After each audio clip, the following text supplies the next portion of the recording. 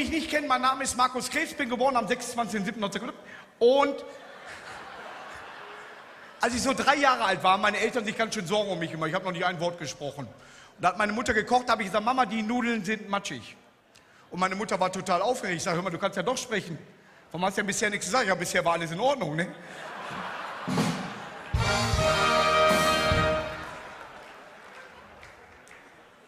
Lese wieder aus meinem Buch heute das Kapitel Scheiße ist, wenn Furz was wiegt.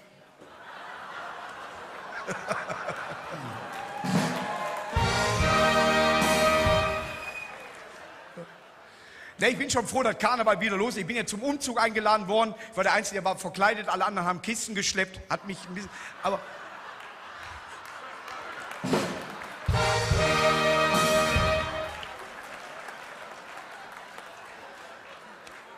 Ich werde wieder äh, Karneval in meiner Stammkneipe in Duisburg äh, feiern. Oder. Ja, danke. Ne, ja, komm.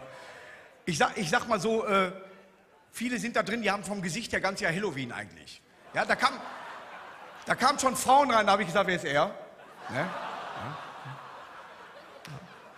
Du kommst da rein, da sitzt Dieter vorne, immer mit dem Kopf auf der Theke. Da sagst du, ist der voll oder magnetisch? Ja? Und dann stellt ihr dir Fragen. Markus, wie heißt nochmal der eine von Max und Moritz?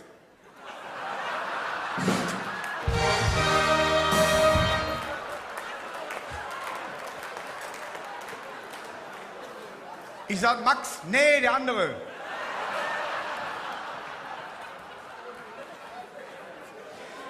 Das ist ein Typ, Haare bis zur Hüfte, fangen aber erst dem Schulterblatt an, weißt du? Hat sich hier oben am Oberarm, hat er sich ein halbes Hähnchen tätowieren lassen. Und unten drunter ein Teller für die Knochen. Ne? Also hat richtig an...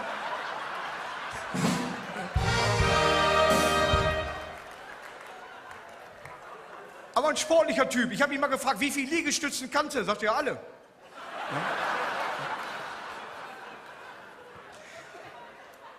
Es heißt, er wäre mit seinem Geschlechtsteil mal im Guinness-Buch der Rekorde gewesen, wurde dann aber aus der Buchhandlung geschmissen. Ich weiß, ich weiß. Die könnt ihr untereinander erklären, ist gar kein Thema, wenn Fragen sind.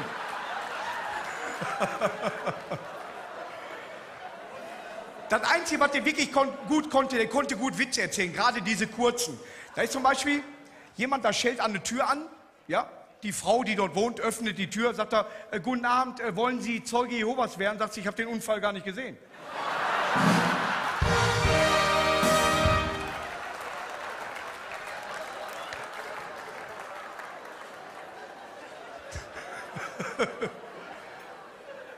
Da schellt einer an eine Tür, wird aufgemacht und sagt, guten Abend, wir äh, sammeln es für städtische Kinderheim. Kleinen Moment bitte, Kevin, Justin, kommt ihr mal.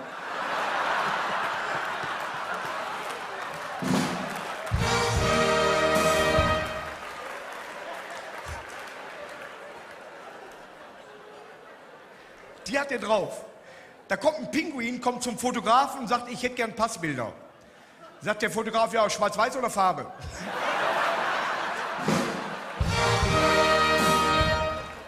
Oder was sagt ein, äh, was sagt ein Schizophrener namens Sex? Na, wer war ich? Weißt du so, ne?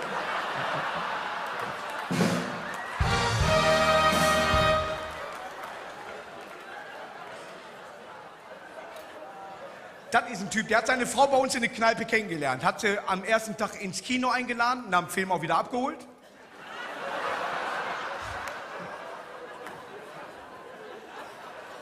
Wir haben immer gedacht, der findet keine Freundin, weil der hat eine Bude, sowas hast du noch nicht gesehen. Der hat eine Katze.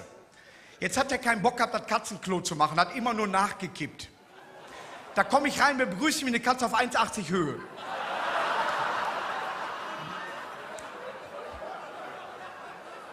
Dann gucke ich in sein Schlafzimmer, Etagenbett. Vorne Panini-Aufkleber drauf, da war der Matthias noch in Gladbach. Ich sage, was ist das denn Etagenbett? Ja, ihr könnt ja mal eine kennenlernen. Ich sage, dann ist Etagenbett geil, da hast du recht. hat dann geheiratet. Er, er hatte mit der Kirche eigentlich nicht so. Er war nur einmal in der Kirche und hat einen Falschparker ausrufen lassen. Er hat auch das Hochzeitsvideo immer gern rückwärts geguckt, wenn er den Ring wieder abnimmt und geht wieder in die Kneipe zurück. Weißt du?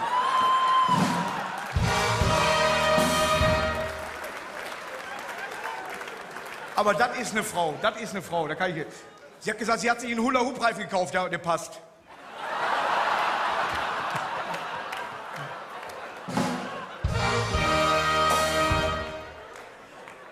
Ich habe sie gefragt, ganz ehrlich, wie viel wiegst du? Sag, sag ich nicht. Ich sag, komm, die ersten drei Zahlen. Weißt du? Ne, ne, ne.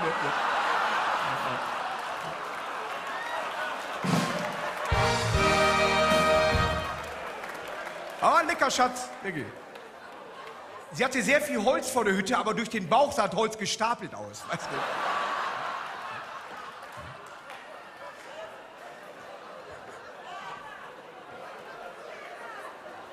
Und die Frau, die hat einer melden, die ist immer mal vor der Schleuse geschwommen oder was, ich weiß es nicht, pass auf.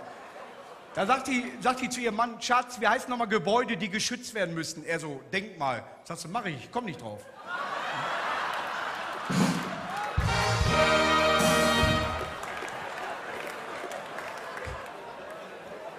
Jetzt haben sie Nachwuchs bekommen.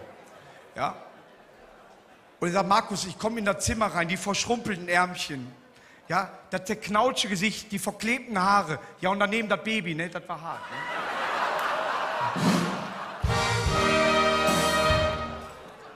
Ich habe ihn gefragt, Junge oder Mädchen? Sagt er, ja sicher. Aber die haben sich jetzt getrennt. Er kam nach Hause und hat sie in Flagranti erwischt. Er kam ins Schlafzimmer und sie war gerade mit jemand anders da, hier für Erwachsene. Ne? Und da sagt er, was geht hier vor? Und der Typ, deine Uhr.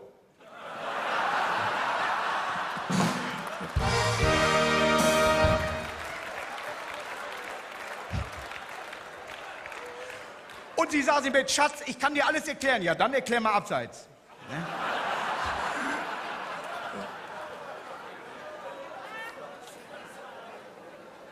Ich habe ihn schon etwas länger nicht mehr gesehen, aber was mir immer in Erinnerung bleiben wird, sind seine Witze. Und deswegen mache ich die Top 3 seiner Lieblingswitze. Pass auf. Frau geht arbeiten, Mann bleibt zu Hause, wir kennen das.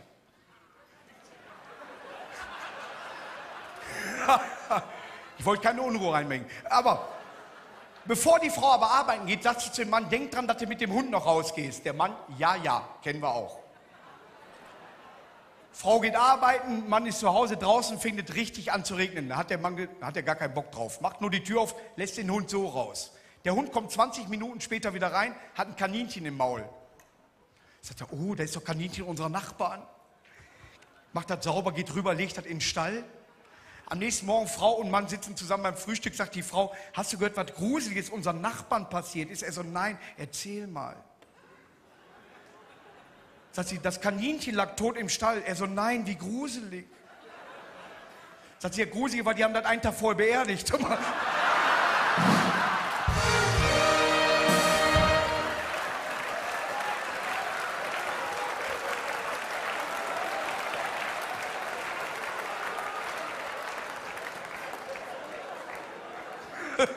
ich finde den auch gut. Pass auf. Platz 2. Typ sitzt in der Kneipe, kommt so ein kleines weißes Pferd vorbeigerannt. Er denkt, was war das denn? Denkt, hat sich verguckt, kommt das kleine weiße Pferd wieder vorbeigerannt. Sagt er zum Wirt, hör mal, was soll das denn hier mit dem kleinen weißen Pferd? Was soll das? Sagt der Wirt, hör bloß auf, geh mal unten bei uns im Bierkeller, hinterm Gurkenfass, da sitzt eine Fee. Wünsch dir was, weiß Bescheid. Der geht runter, kommt 20 Minuten später wieder hoch, hat eine Melone unterm Arm und hinter ihm läuft ein kleines Schwein. Da sagt er zu mir, hör mal, kann das sein, dass die mich da unten nicht versteht? Ich wollte eine Million in kleinen Scheinen. Jetzt.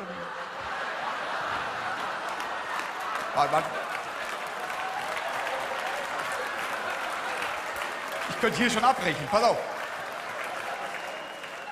Da sagt er, wer glaubt, ich habe mir einen 30 Zentimeter langen Schimmel gewünscht oder was?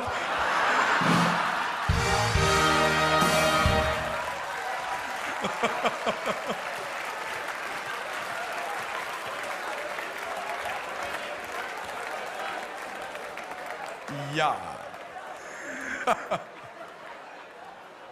so, und jetzt kommen wir zu Platz 1.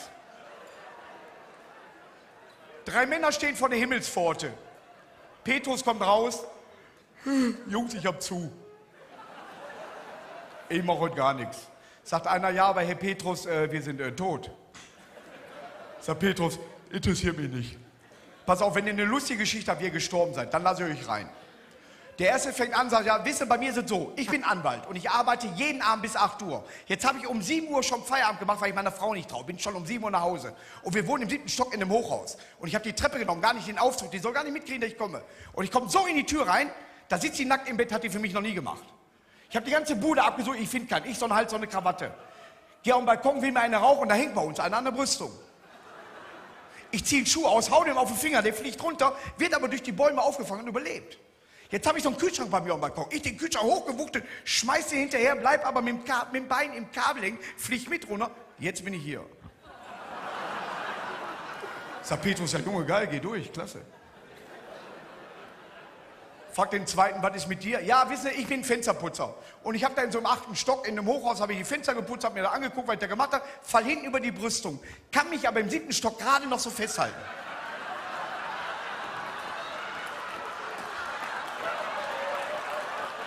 Da kommt so ein Vollidiot, hau mir mit den Schuhe auf den Finger. Ich fall runter, wird aber durch die Bäume aufgefangen und überlebe. Und wie Gott dank, da kommt um den Kühlschrank, klatsch. Ganz wie hier. Ja, Petrus, ja Junge, geh durch, klasse. Fragt den letzten, was ist mit dir?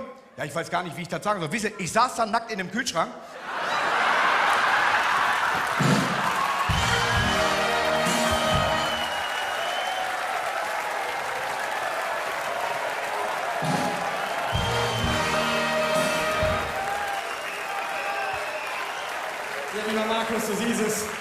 Düsseldorfer Publikum liegt dir wieder zu Füßen und ich kann dir jetzt schon versprechen, im nächsten Jahr sehen wir uns hier auf der Bühne wieder. Wir bedanken uns bei Markus Krebs mit dreimal Düsseldorf. Markus Krebs, Komitee Düsseldorfer Karneval. Danke, tschüss Markus.